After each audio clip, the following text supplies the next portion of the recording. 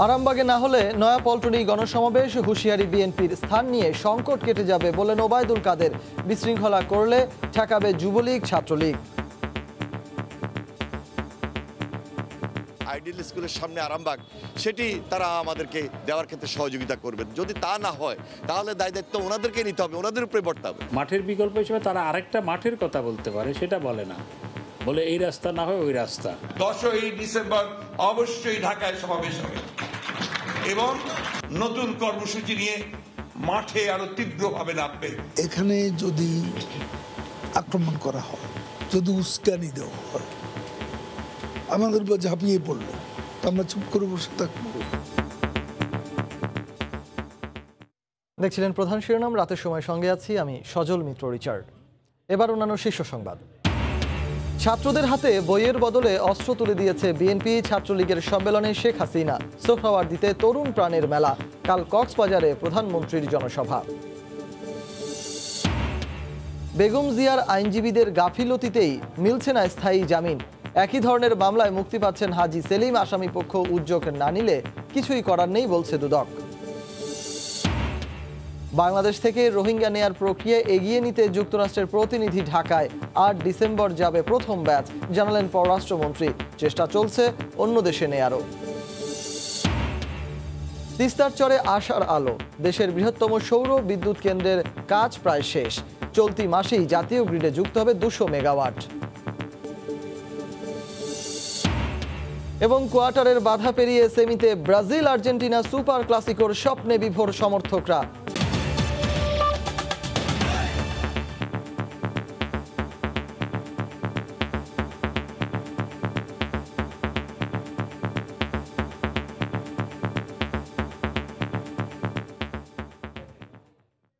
রাজধানী আরামবাগে অনুমতি না পেলে নয়াপল্টনেই সমাবেশ করবে বিএনপি। এমন হুঁশিয়ারি দিয়েছেন দলের নেতারা। তারা বলেন, দশ ডিসেম্বর ঢাকা বিভাগীয় সমাবেশ নিয়ে বিভ্রান্তির সুযোগ নেই। বিএনপি আন্দোলনে ভীত বলেই সরকার সমাবেশের স্থান নির্ধারণে বাধা দিচ্ছে এমন অভিযোগ করেন তারা। ঢাকা বিভাগীয় গণসমাবেশ ঘিরে উত্তপ্ত রাজনীতির মাঠ। বাদ যায়নি নয়াপল্টনে বিএনপির কেন্দ্রীয় কার্যালয়ের সামনে নেতাকর্মীদের স্লোগানেও। মঙ্গলবার সকাল থেকে দলীয় কর্মীরা কার্যালয়ের সামনে অবস্থান নেন। দাবি তাদের, দশ ডিসেম্বর গণসমাবেশ হোক, নয়াপল্টনেই। এর বাইরে যেতে নারাজ তারা। অন্যদিকে বিশৃঙ্খলা এড়াতে মোতায়েন করা হয় বিপুল সংখ্যক আইনশৃঙ্খলা রক্ষা বাহিনীর সদস্য। বিএনপির পক্ষ থেকে আবারও জানানো হয় কোনো অবস্থাতেই সোহরাওয়ার্দিতে গণসমাবেশ করবে না তারা। চাহিদা মতো বিকল্প ভেনু না হলে নয়াপল্টনেই অবস্থান নেবে বিএনপি। বিকল্প প্রস্তাব হিসাবে আমরা যেটি বলেছি আইডিয়াল স্কুলের সামনে আরামবাগ সেটি তারা আমাদেরকে দেওয়ার ক্ষেত্রে সহযোগিতা করবেন যদি তা না হয় তাহলে দায় দায়িত্ব ওনাদেরকে নিতে হবে ওনাদের উপরে বর্তাবে একই দিন বিকেলে রাজধানীর একটি হোটেলে বিদেশি কূটনীতিকদের নিয়ে সেমিনারের আয়োজন করে বিএনপি। কূটনীতিকদের সামনে বিভিন্ন অভিযোগ তুলে ধরেন দলটির শীর্ষ নেতৃত্ব। দশ ডিসেম্বরের পর দেশের রাষ্ট্রযন্ত্রকে স্থবির করে দেওয়ার হুমকি দেন তারা। এই ধরনের স্যাংশন এগুলো যদি হয়, আমরা ভবিষ্যতে ওয়েলকাম জানাব। ঢাকা শহরে লক্ষ লক্ষ লোকের সমাবেশ এনে রাষ্ট্রযন্ত্রকে স্থবির করে দেওয়া যায় সেটা চেষ্টাই করেন। আমাদের ভ্যালু নিয়েই প্রথম বাধা দিচ্ছে চোদ্দ বছরে যখন আমাদের দমাতে পারেনি আমার বিশ্বাস আমাদের নেতাকর্মীদেরকে এইবারের এই শেষ কামড়ে দমাতে পারবে না। দলটির মহাসচিব মির্জা ফখরুল ইসলাম আলমগীর জানান বিএনপির গণসমাবেশ নিয়ে কোনো বিভ্রান্তি নেই ওই সমাবেশ থেকে আসছে নতুন কর্মসূচিও। দশই ডিসেম্বর অবশ্যই ঢাকায় সমাবেশ হবে। এবং এই সমাবেশ থেকে মানুষ নতুন কর্মসূচি নিয়ে মাঠে আরও তীব্রভাবে নামবে।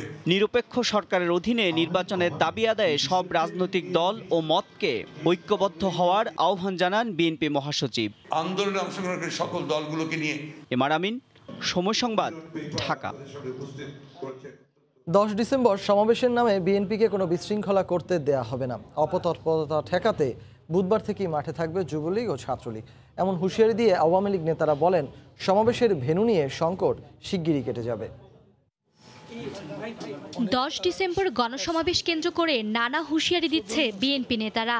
দিচ্ছেন হুমকি, ধমকি। এমন পরিস্থিতিতে মঙ্গলবার সচিবালয়ে নিজ কার্যালয়ে গণমাধ্যমের মুখোমুখি হয়ে আওয়ামী লীগ সাধারণ সম্পাদক ওবায়দুল কাদের দেশবাসীকে আশ্বস্ত হওয়ার আহ্বান জানান। তিনি বলেন, দশ ডিসেম্বর ভয়ের কিছুই হবে না। সমাবেশের নামে বিএনপিকে কোনো বিশৃঙ্খলা করতে দেবে না সরকার। জনগণের আতঙ্কিত হওয়ার কোনো কারণ এখানে যদি আক্রমণ করা হয় যদি উস্কানি দেওয়া হয়।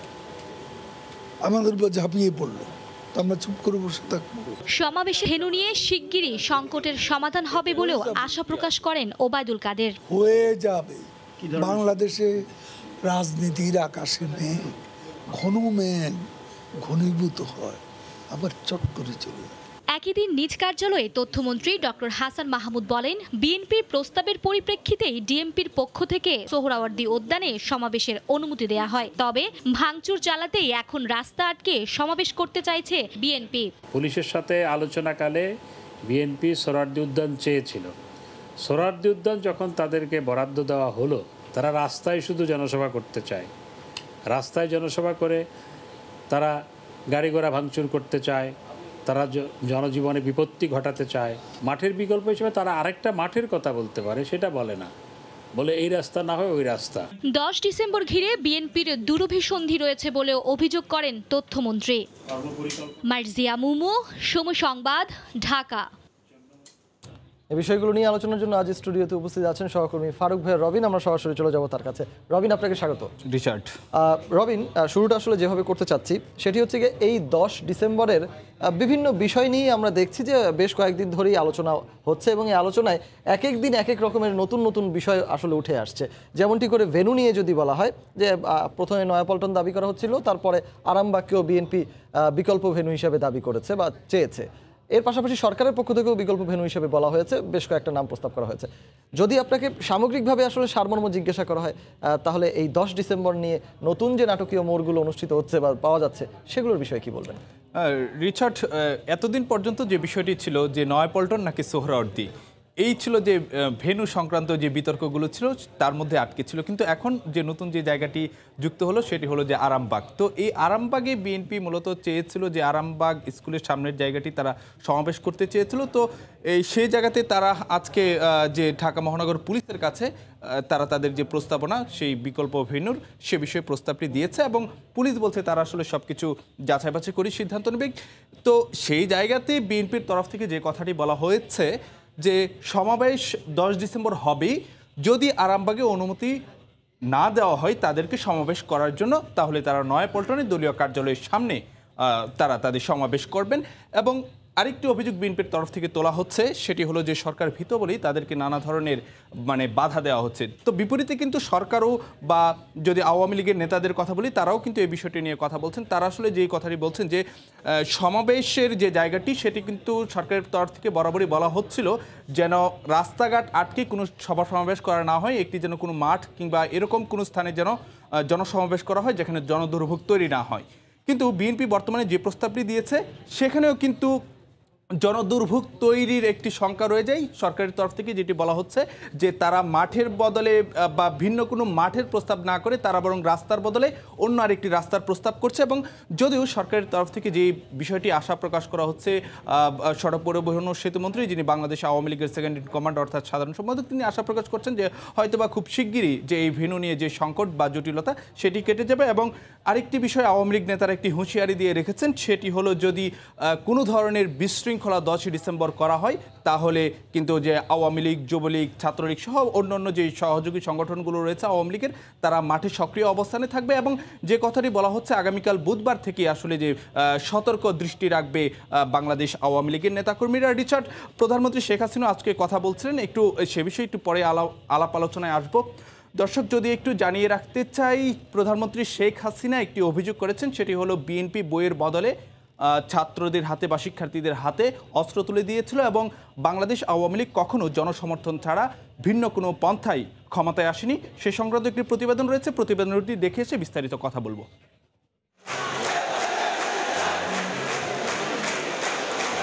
নির্ধারিত সময়ের আড়াই বছর পর বাংলাদেশ ছাত্রলীগের ত্রিশতম জাতীয় সম্মেলন ঘিরে বাড়তি উৎসাহ, উদ্দীপনা নেতাকর্মীদের মধ্যে। মঙ্গলবার সকাল এগারোটার কিছু সময় পর সম্মেলনের উদ্বোধন করেন আওয়ামী লীগ সভাপতি প্রধানমন্ত্রী শেখ হাসিনা।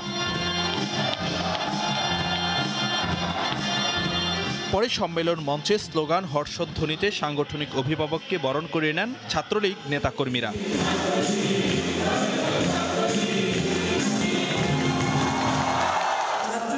প্রধানমন্ত্রী বলেন অতীতে সামরিক শাসন সহ বিএনপি আমলে শিক্ষাঙ্গনে অস্ত্র সন্ত্রাস বিস্তার হলেও সুষ্ঠু পরিবেশ ফিরিয়ে আনে আওয়ামী লীগ সরকার।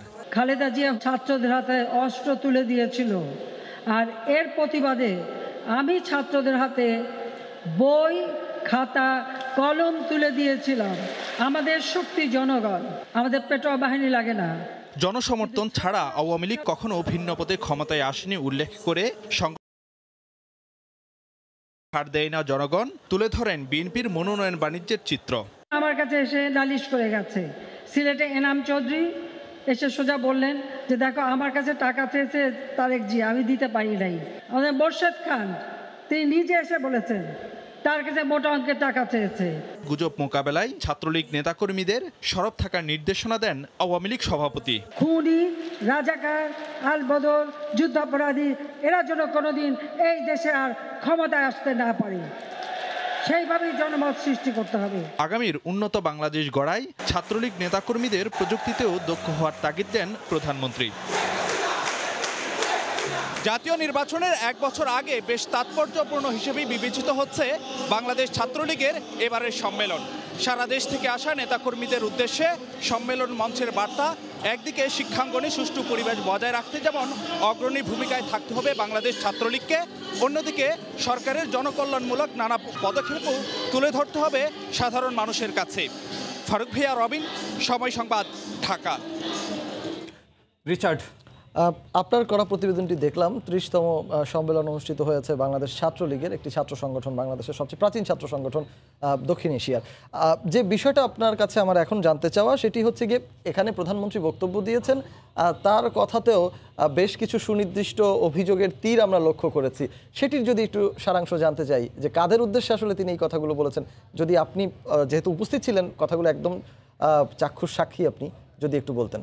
মোটা দাগে আসলে তার নিশানা হয়েছে বিএনপি বা দলটির যদি প্রতিষ্ঠাতা যে জিয়াউর রহমান থেকে শুরু করে পরবর্তীতে বেগম খালেদা জিয়া, বর্তমানে যিনি চেয়ারপারসন দলের এবং অন্যদিকে যে তারেক রহমান তিনিও কিন্তু যে প্রধানমন্ত্রী শেখ হাসিনার যে আজকের বিভিন্ন বক্তব্যের নিশানা হয়েছেন এবং সে জায়গাতে আমরা যেটি দেখতে পাচ্ছি যে, কথিত বিভিন্ন বুদ্ধিজীবীদেরও তিনি কাঠকড়ায় দাঁড় করেছেন তো যে বিষয়টি নিয়ে বিএনপি আজকে প্রধানমন্ত্রীর নিশানায় পড়েছেন, তার মূল যে বিষয়টি হলো যে, প্রধানমন্ত্রী শেখ হাসিনা যে অভিযোগটি করেছেন, বাংলাদেশ আওয়ামী লীগ কখনো জনগণের সমর্থন ছাড়া ভিন্ন কোনো পন্থাই যে ক্ষমতায় আসেনি। কিন্তু বিএনপি তার জন্মই হয়েছে আসলে যে একটি অবৈধ পন্থাই, সেটি হলো যে সামরিক শাসকদের যে অর্থাৎ জিয়াউর রহমান সামরিক শাসনের আওতায় কিন্তু যে বিএনপির যে প্রতিষ্ঠা করেছিলেন এবং তৎপর যেটি দেখা যায় যে এই দলটির আসলে বিকাশও হয়েছিল যে মানে সামরিক শাসনের যে আওতায় এবং এর মধ্য দিয়ে আসলে যে সেই দলটি কখনো জনগণের কথা চিন্তা ভাবনা করেনি, বরং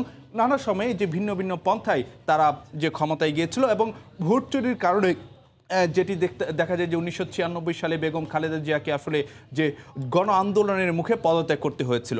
এবং প্রধানমন্ত্রী শেখ হাসিনা আজকে যে অভিযোগটি করেছেন, সেটি হলো দু হাজার আঠারো সালের নির্বাচনে বিএনপির যেই ভরাডুবি হয়েছিল, সেটির মূল কারণ হলো যে মনোনয়ন বাণিজ্য। এক এক জায়গাতে তারা একাধিক প্রার্থীকে মনোনয়ন দিয়েছেন এবং সেখানে আসলে যে টাকার বিনিময়ে যে প্রার্থিতা দেওয়া হয়েছিল, সে বিষয়ে সুনির্দিষ্ট কিছু অভিযোগ তার কাছে বিএনপি নেতারাই অভিযোগ করেছেন এবং তিনি তাদের প্রসঙ্গে কিন্তু একেবারে নাম ধরেই কিন্তু বলেছেন যে নিনাম আহমেদ চৌধুরী কিংবা মুর্শেদ খান, তাদের কথা কিন্তু তিনি উল্লেখ করেছেন যে তারা প্রধানমন্ত্রী শেখ হাসিনার কাছে যে নালিশ জানিয়েছেন যে তারেক রহমান তাদের কাছে মনোনয়নের জন্য যে টাকা চেয়েছিল, টাকা দিতে পারেনি বলে তাদের প্রার্থিতা আসলে যে নিশ্চিত হয়নি। অন্যদিকে তিনি যে অভিযোগটি করেছেন যে বুদ্ধিজীবী নামদারি কিছু ব্যক্তিত্ব, তারা আসলে যে সরকার উৎখাতের যে অভিলাষে তারা বিএনপির সঙ্গে হাত মিলাচ্ছে এবং একটি বিষয় নেতাকর্মীদের উদ্দেশ্যে বলেছেন যে খুনি এবং যুদ্ধাপরাধীরা যেন আর কখনো বাংলার ক্ষমতায় না আসে, সে বিষয়ে নেতাকর্মীরা যেন জনমত গড়ে তোলেন। রিচার্ড।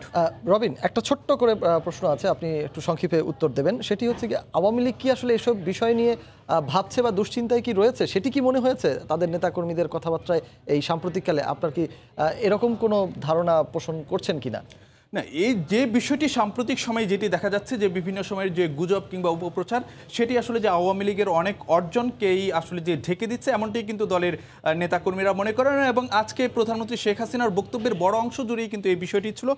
তিনি আসলে যে কথাটি আজকে বলেছেন যে বাংলাদেশ আওয়ামী লীগ ক্ষমতায় আসার পরে ডিজিটাল বাংলাদেশ গড়ার ক্ষেত্রে আসলে যে লক্ষ্য ঠিক করেছিল এবং সেই ডিজিটাল বাংলাদেশ গড়তে গিয়ে আজকে যে সামাজিক যোগাযোগ মাধ্যমে বা ইন্টারনেট ব্যবহার করে সেই ডিজিটাল অস্ত্রকে উল্টো আওয়ামী লীগের বিরুদ্ধেই ব্যবহার করা হচ্ছে এবং তিনি যেটি কথাটি বলছেন যে অর্থনীতির জায়গাতে বা রিজার্ভের জায়গাতে নানা ধরনের গুজব রটানো হলেও বাস্তবতা হলো অর্থনীতি বর্তমানে শক্ত ভিত্তির উপর দাঁড়িয়ে আছে বলেই প্রতি বছর বাজেটের কলয়বর বাড়ছে এবং ব্যাংকে বর্তমানে যদিও নানা ধরনের কথাবার্তা আছে, কিন্তু পর্যাপ্ত পরিমাণ টাকা আছে। তিনি সংশ্লিষ্ট সবার সঙ্গে নিয়মিতই কথা বলছেন এবং খোঁজখবর রাখছেন এবং গুজব রুখার জন্য তিনি সবাইকে আহ্বান জানিয়েছেন এবং সে জায়গাতে বাংলাদেশ ছাত্রলীগ সহ অন্য অন্য সহযোগী সংগঠনগুলো যেন সামাজিক যোগাযোগ মাধ্যমেও সমানভাবে সরব হয়, সে বিষয়ে তিনি আসলে যে তাগিদ দিয়েছেন। রিচার্ড।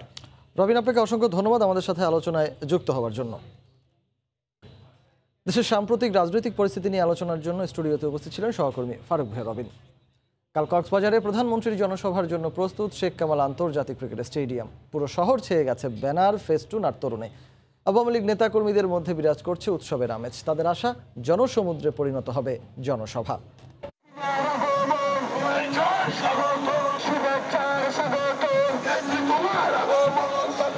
বুধবার সৈকত শহর কক্সবাজারে আসছেন সরকার প্রধান। তার আগমনকে ঘিরে উৎসবের আমেজ এই জনপদে।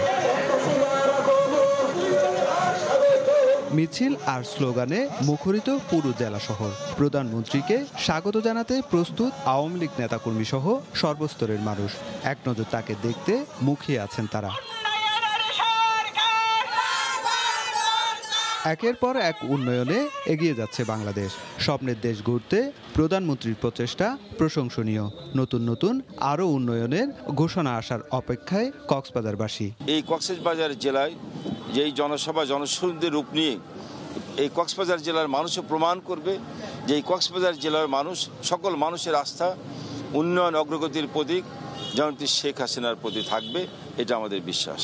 দীর্ঘ সাড়ে পাঁচ বছর পর কক্সবাজারে জনসভায় যোগ দিবেন প্রধানমন্ত্রী ও আওয়ামী লীগ সভাপতি শেখ হাসিনা। তাই পুরনগরীতে এখন সাজ সাজ রব। রাস্তাঘাট ছেয়ে গেছে ব্যানার ফেস্টুন আর তরুণে ছেয়ে গেছে চারদিক। একই সঙ্গে শোভা পাচ্ছে কক্সবাজারে চলমান মেগা প্রকল্পগুলোর ব্যানারও।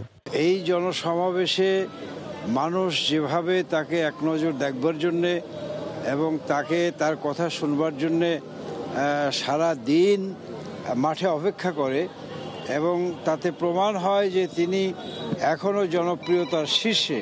স্মরণকালের বৃহত্তম জনসভা হবে। এই জনসভার মধ্য দিয়ে এই কক্সবাজারের অসাম্প্রদায়িক মুক্তিযুদ্ধের চেতনার মানুষেরা জানান দেবে বাংলাদেশের স্বাধীনতা সার্বভৌমত্ব নিয়ে। কোনো অপশক্তির ষড়যন্ত্র কেউ সহ্য করবে না। এদিকে শেখ কামাল আন্তর্জাতিক ক্রিকেট স্টেডিয়াম মাঠে প্রধানমন্ত্রীর জনসভাকে কেন্দ্র করে সার্বিক নিরাপত্তার প্রস্তুতি সম্পন্ন করেছে আইনশৃঙ্খলা রক্ষা বাহিনী। নেওয়া হয়েছে চার স্তরের নিরাপত্তা বলয়। কক্সবাজারবাসী এবং অন্যান্য জেলা থেকে আমার যে ফোর্স এবং অফিসার এসছে তাদের সহায়তায় আমরা এই প্রোগ্রামে নিরাপত্তার বিষয়টি সফলভাবে করতে পারব। কক্সবাজারে জনসভায় উনত্রিশটি প্রকল্পের উদ্বোধন করবেন প্রধানমন্ত্রী শেখ হাসিনা। এক হাজার তিনশো তিরাশি কোটি টাকা ব্যয়ে এসব প্রকল্পের কাজ শেষ হয়েছে। একই সঙ্গে পাঁচশো বাহাত্তর কোটি টাকা ব্যয়ে চারটি প্রকল্পের ভিত্তিপ্রস্তর স্থাপন করবেন। সোজাউদ্দিন রুবেল, সময় সংবাদ, কক্সবাজার। আন্তর্জাতিক অঙ্গনে ইতিবাচক সামরিক ভাবমূর্তি ও সক্ষমতার নতুন বার্তা দিতে এবার বাংলাদেশ আয়োজন করছে ইন্টারন্যাশনাল ফ্লিট রিভিউ। কক্সবাজার সমুদ্র সৈকতে এই আয়োজনে যোগ দিচ্ছে যুক্তরাষ্ট্র, চীন, ভারতসহ আঠাশ দেশের নৌবাহিনী। কাল উদ্বোধন করবেন প্রধানমন্ত্রী শেখ হাসিনা। সালাউদ্দিন লিয়ার ক্যামেরায় কক্সবাজার থেকে দেবাশিস রায়ের রিপোর্ট। নীল জলরাশিতে সারি সারি যুদ্ধ জাহাজ আর নীল দিগন্ত থেকে প্যারাশুটে জাম্প করছেন নেভি সিলের চৌকস সদস্যরা। এক ঝাঁক স্পিড বোটের উন্মত্ত টহল অন্যদিকে দুরন্ত গতির হেলিকপ্টার থেকে একে একে নামছেন নেভি সোয়ার্ডসের সদস্যরা। বিভিন্ন দেশ থেকে আসা যুদ্ধ জাহাজ নিয়ে প্রথমবার এই ইন্টারন্যাশনাল ফ্লিট রিভিউ দু হাজার বাইশের আয়োজন করেছে বাংলাদেশ। বুধবার এই আন্তর্জাতিক ইভেন্ট আনুষ্ঠানিক উদ্বোধন করবেন প্রধানমন্ত্রী শেখ হাসিনা। মঙ্গলবার হয়ে গেল এর চূড়ান্ত মহড়া। উন্মুক্ত নোনা জলরাশির এই আয়োজনে নিজস্ব সাংস্কৃতিক উপাদান সমৃদ্ধ ইভেন্টের পাশাপাশি এখানে উপস্থাপিত হতে যাচ্ছে ভিনদেশি শিল্পীদের পরিবেশনাও।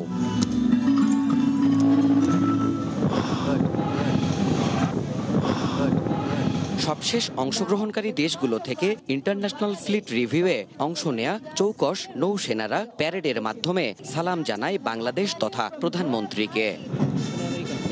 এই আয়োজনের পাশাপাশি ইনানি সৈকতে স্থাপিত বাংলাদেশ নেভির স্থায়ী জেটিও উদ্বোধন করবেন প্রধানমন্ত্রী। এছাড়া এমন উদ্যোগের মাধ্যমে পর্যটন নগরী কক্সবাজারের নাম বহির্বিশ্বে ছড়িয়ে পড়বে বলেও আশা সংশ্লিষ্টদের। আজ থেকে এক যুগ আগেও বাংলাদেশ এমন বড় সামরিক আয়োজনগুলোতে অতিথি হয়ে গেলেও এবার হয়েছে আয়োজক, যার নেতৃত্ব দিচ্ছে বাংলাদেশ নৌবাহিনী। এমন আয়োজনের মাধ্যমে আগামী দিনে বাংলাদেশের ইতিবাচক ভাবমূর্তি আরও সমুন্নত হবে বলেই আশা করছেন নৌবাহিনী সংশ্লিষ্টরা। দেবাশিস রায়, সময় সংবাদ, ইনানি সৈকত, কক্সবাজার। মুক্তি পাচ্ছেন সংসদ সদস্য হাজি সেলিম। অসুস্থতা বিবেচনায় মঙ্গলবার সর্বোচ্চ আদালত তাকে জামিন দেন। তার আইনজীবী বলছেন, মুক্তির পর বিদেশে যাবেন চিকিৎসা নিতে। দুদক আইনজীবী বলছেন, একই ধরনের মামলা হওয়ায় বেগম জিয়ার জামিন এবং লিভ টু আপিল শুনানির উদ্যোগ না নেয় এগোয়নি মামলার প্রক্রিয়া। তার আইনজীবীরা, উদ্যোগ না নিলে এক্ষেত্রে দুদকের কিছুই করার নেই। দুর্নীতির মামলায় দশ বছরের সাজা মাথায় নিয়ে এবছরের বাইশে মে কারাগারে যান সংসদ সদস্য হাজি মোহাম্মদ সেলিম। এক রাত কেরানীগঞ্জ কারাগারে থাকার পর অসুস্থ হয়ে পড়লে তাকে নেওয়া হয় বঙ্গবন্ধু মেডিকেলের প্রিজন সেলে। এরপর থেকে এখানেই আছেন তিনি। মঙ্গলবার সেলিমের জামিন আবেদনের শুনানি হয় সর্বোচ্চ আদালতে। অসুস্থতায় উন্নত চিকিৎসার জন্য জামিন চান তার আইনজীবীরা, মঞ্জুর করেন প্রধান বিচারপতির আদালত। উনি খেতে পারছেন না, শারীরিক বিভিন্ন রকম অসুস্থতা হচ্ছে। ওনাকে দুই মাসের মধ্যে এসে ফার্দার চেক এবং নতুন কিছু মেডিসিন চেঞ্জের কথা বলা হয়েছিল। আমরা সেইগুলো আজকে মহামান্য অ্যাপেলেট বিভাগে উপস্থাপন করি। দুর্নীতির মামলায় দণ্ডপ্রাপ্ত বেগম খালেদা জিয়া ও হাজি সেলিমের মামলার ধরন একই রকম। তাহলে বিএনপি নেত্রী কেন জামিন পাচ্ছেন না? জানতে চাইলে দুদক আইনজীবী বলছেন, বেগম জিয়ার আইনজীবীরা আইনি প্রক্রিয়া এগিয়ে নিলে কিছু একটা হতে পারত। শুনানি করলে তো হয়তো কিছু একটা তো হবে, আমি তো সেটা জানি না। কিন্তু ওনারা শুনানি করছে না কেন? হাজি সেলিমের আইনজীবীরা তো সাহস করে চেম্বারে গিয়ে ওনারা শুনানি করেছে এবং শুনানি অন্তে ওনাদের লিভ গ্রান্ট করে জামিন দিয়েছে। বেগম খালেদিজের আইনজীবীরা তো এটা শুনানি করতে চাচ্ছেন না বা ওনারা করতে চাচ্ছেন না, এটা ওনাদের ব্যাপার। দশ বছর কারাদণ্ডের রায়ের কপি হাতে পাওয়ার দুই মাসের মধ্যে সর্বোচ্চ আদালতে আপিল ও জামিন শুনানির উদ্যোগ নেন হাজি সেলিমের আইনজীবীরা। অন্যদিকে জিয়া অরফানেজ ট্রাস্ট দুর্নীতি মামলাতেও বেগম জিয়ার ক্ষেত্রে একই ধরনের আইনি পদক্ষেপ নেওয়া হয়। কিন্তু প্রায় চার বছরেও বেগম জিয়ার জামিন ও লিভ টু আপিলের শুনানির কোনো উদ্যোগ নেয়নি তার আইনজীবীরা। আফজাল হোসেন, সময় সংবাদ, ঢাকা। আর্জেন্টিনা কোয়ার্টার ফাইনাল নিশ্চিত করেছিল আগেই। এবার সাম্বার তালে দক্ষিণ কোরিয়াকে উড়িয়ে দিয়ে উঠল নেইমারের ব্রাজিলও।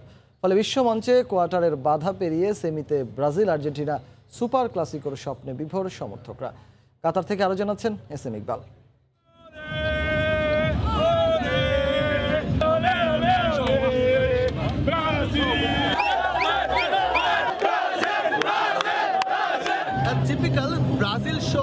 Stadium nine seven four exactly তাই ব্রাজিল ফুটবল ভক্তরা ব্রাজিলের ফুটবলটাকে ঠিক যেভাবে কল্পনা করেন ঠিক যেভাবে দেখতে চান তাই কিন্তু হয়েছে স্টেডিয়াম নাইন সেভেন ফোরে একেবারে উন্মাদনার ষোলো কলা পূর্ণ করে তারা মাঠ ছেড়েছেন So epic and incredible. We're 4-1 up to Korea and I'm loving it. Vamos Very nice. I'm happy. Very happy. নেইমারকে নিয়ে শঙ্কায় ছিল যে তাকে রাউন্ড অফ সিক্সটিনে পাওয়া যাবে কিনা কিন্তু তিনি খেলেছেন একদম একেবারে প্রথম একাদশ থেকেই তিনি খেলেছেন এবং গোলও করেছেন যেটা হচ্ছে বিশ্বকাপে তার প্রথম গোল শুধু নেইমার না নেইমারের ফেরায় দলের যে বাকি টিমমেটরা তারাও কিন্তু উজ্জীবিত ছিলেন একেবারে যারা হচ্ছে ব্রাজিলের তুরুপের তাস প্রত্যেকের পা থেকেই কিন্তু গোল এসেছে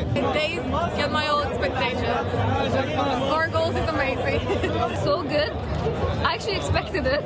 Um, they're always good. And yes,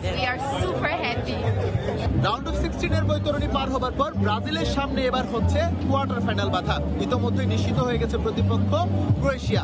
Croatia জাপানের বিপক্ষে যেভাবে পারফরমেন্স করেছে, তাতে ভক্তরা প্রত্যাশা করছেন এই দলটা ব্যাপক দাপট দেখিয়েই সেমিফাইনালে যাবে। So we're gonna beat uh, Croatia, then we're gonna go Argentina all the way to the champion number six.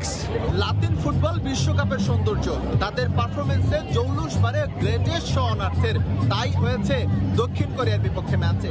ভক্তদের প্রত্যাশা সামনের যে ধাপগুলো রয়েছে সেই ধাপেও অব্যাহত থাকবে এই performance stadium nine seven four থেকে S M Iqbal Somoy Sangbad Qatar. আট ডিসেম্বর প্রথম ব্যাচে কিছু সংখ্যক রোহিঙ্গা যাবে যুক্তরাষ্ট্রে, এমনটাই জানিয়েছেন পররাষ্ট্রমন্ত্রী ডক্টর এ কে আব্দুল মোমেন। এদিকে অন্য দেশেও রোহিঙ্গা পুনর্বাসনের সুযোগ তৈরিতে মার্কিন সরকার কাজ করছে বলে জানিয়েছেন দেশটির পররাষ্ট্র দপ্তরের শরণার্থী ও অভিবাসন বিষয়ক সহকারী মন্ত্রী। গত পাঁচ বছর ধরে বাংলাদেশে আশ্রয় নিয়ে আছে মিয়ানমারের রোহিঙ্গা জনগোষ্ঠী। দেশটির জান্তা সরকারের অস্বীকৃতিতে নিজ দেশে ফিরে যেতে পারেননি একজন রোহিঙ্গাও। রোহিঙ্গা পরিস্থিতি পর্যবেক্ষণ করতে গত তিন ডিসেম্বর বাংলাদেশে আসেন মার্কিন পররাষ্ট্র দপ্তরের জনসংখ্যা, শরণার্থী ও অভিবাসন বিষয়ক সহকারী মন্ত্রী। ঘুরে ঘুরে পরিদর্শন করেন রোহিঙ্গা ক্যাম্পগুলো। যাওয়ার আগে পররাষ্ট্র মন্ত্রণালয়ে সাক্ষাতে আসেন মন্ত্রীর সঙ্গে। জানান, কিছু সংখ্যক রোহিঙ্গা নিতে যুক্তরাষ্ট্রের আগ্রহের কথা। এছাড়া অন্য দেশেও রোহিঙ্গা পুনর্বাসনের সুযোগ তৈরিতে মার্কিন সরকার কাজ করছে বলেও জানান তিনি। The United States is proud to be able to support resettlement in our country of these very most vulnerable Rohingya. This is a priority of President Biden. We are discussing with other governments and with other partners, and we will be working together with the international community. পরে পররাষ্ট্রমন্ত্রী বলেন আট December Rohingya জনগোষ্ঠীর প্রথম batch যুক্তরাষ্ট্রে যাওয়ার কথা রয়েছে। মার্কিন পররাষ্ট্রমন্ত্রী অ্যান্টনি ব্লিংকেন ছাড়াও শক্তিশালী কয়েকটি দেশের কাছে রোহিঙ্গাদের পুনর্বাসনের আবেদন জানিয়েছিলেন পররাষ্ট্রমন্ত্রী। সেক্রেটারি ব্লিংকেনের আলাপ যখন হয় ওনাকে বলছিলাম যে মিনিমাম এক লাখ নেবেন। আমি সেটাই ব্রিটিশকেও বলেছি।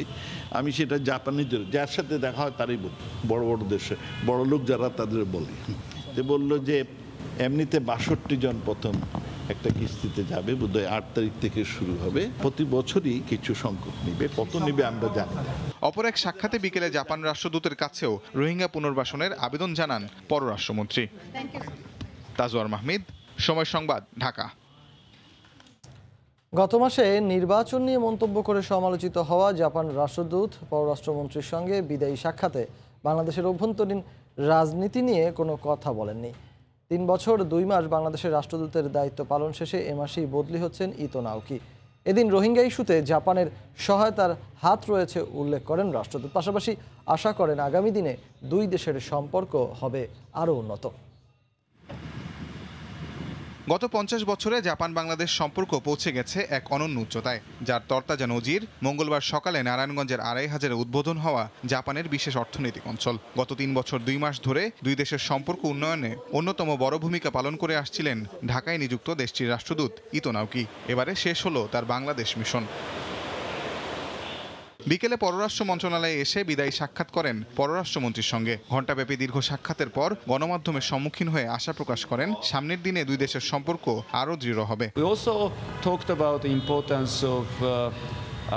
Expanding our cooperation more into human resources uh, development. শেষ বেলায় এসে গত মাসে নির্বাচন প্রসঙ্গে মন্তব্য করে সমালোচনার শিকার হন তিনি তবে বিদায়ী সাক্ষাতে নির্বাচন বা অভ্যন্তরীণ রাজনীতি নিয়ে কোনো আলোচনাই হয়নি বলে জানান ইতোনাউকি We have not discussed any of uh, those issues. I have been uh, engaged with my diplomatic job for over the last three years. So I don't have any direct uh, political experience. I don't think I have any comment on that question. এদিকে রোহিঙ্গা সংকট সমাধানে Japan সবসময় পাশে ছিল উল্লেখ করে তিনি বলেন তৃতীয় দেশে রোহিঙ্গা পুনর্বাসনের পরিকল্পনা প্রশংসনীয় তবে এ বিষয়ে জাপানের এখনও কোনো ভাবনা নেই country resettlement is a very important avenue my government has yet to decide any of those concrete measures. দুই দেশের বন্ধুত্বপূর্ণ পঞ্চাশ বছর উদযাপনে ইতোমধ্যে চল্লিশটির বেশি অনুষ্ঠান আয়োজন করেছে জাপান দূতাবাস। ডিসেম্বরের মধ্যেই পঞ্চাশটি অনুষ্ঠান আয়োজনের লক্ষ্য রয়েছে তাদের। তাজওয়ার মাহমিদ সময় সংবাদ ঢাকা। তিস্তার চরে এখন আশার আলো। গাইবান্ধার সুন্দরগঞ্জে দেশের বৃহত্তম সৌর বিদ্যুৎ কেন্দ্রের কাজ প্রায় শেষ। এখান থেকেই চলতি মাসে জাতীয় গ্রিডে যুক্ত হবে দুশো মেগাওয়াট বিদ্যুৎ।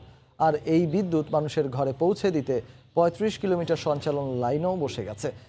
আতাউল হক সাগরের ক্যামেরা বিস্তারিত জানাচ্ছেন রতন সরকার।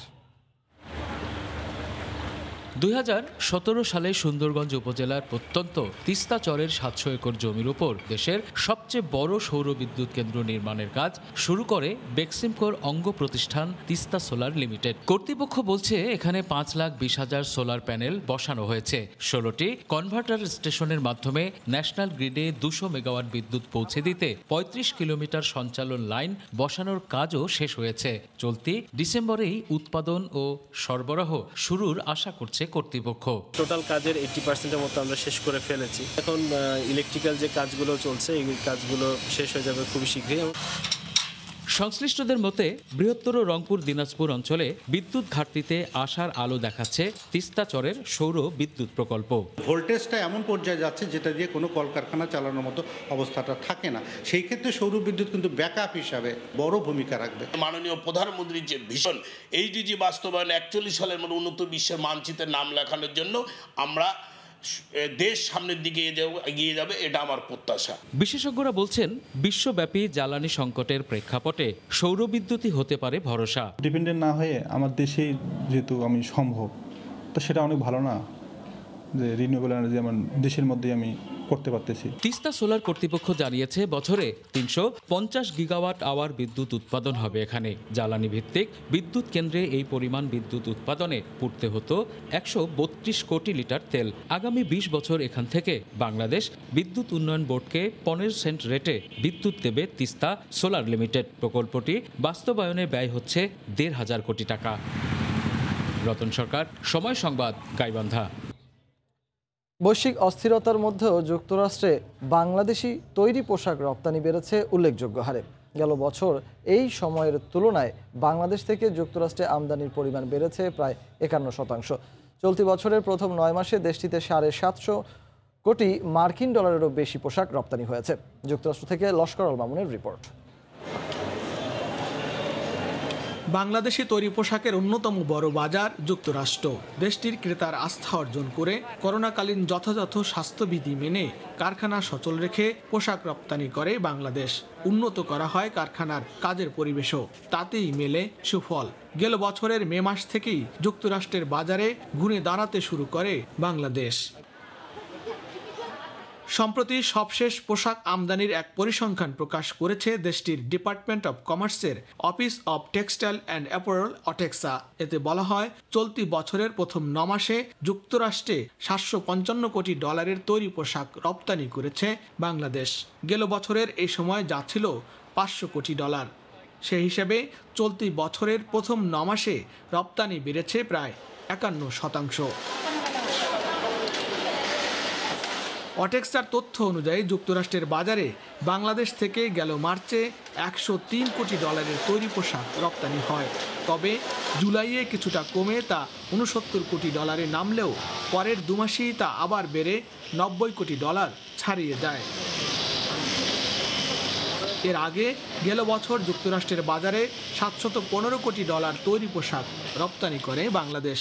দুই হাজার বিশ সালের তুলনায় যা ছিল সাঁত্রিশ শতাংশ বেশি। এই সম্পর্কে সুযোগে তৈরি পোশাক খাতে বাংলাদেশের রপ্তানি আয় আরও বাড়ার সম্ভাবনা দেখছেন বিশেষজ্ঞরা। লস্কর আল মামুন, সময় সংবাদ, যুক্তরাষ্ট্র। এ পর্যায়ে শীর্ষ সংবাদগুলো জানিয়ে দিচ্ছি আরেকবার। আরামবাগে না হলে দশ ডিসেম্বর নয়াপল্টনী গণসমাবেশ। হুঁশিয়ারি বিএনপির স্থান নিয়ে সংকট কেটে যাবে বলেন ওবায়দুল কাদের। বিশৃঙ্খলা করলে ঠেকাবে যুবলীগ, ছাত্রলীগ। ছাত্রদের হাতে বইয়ের বদলে অস্ত্র তুলে দিয়েছে বিএনপি। ছাত্রলীগের সম্মেলনে শেখ হাসিনা সোফ্লাওয়ার দিতে তরুণ প্রাণের মেলা, কাল কক্সবাজারে প্রধানমন্ত্রীর জনসভা। এবং কোয়ার্টারের বাধা পেরিয়ে সেমিতে ব্রাজিল আর্জেন্টিনা সুপার ক্লাসিকোর স্বপ্নে বিভোর সমর্থকরা। এই ছিল রাতের সময়ে, সঙ্গে থাকুন।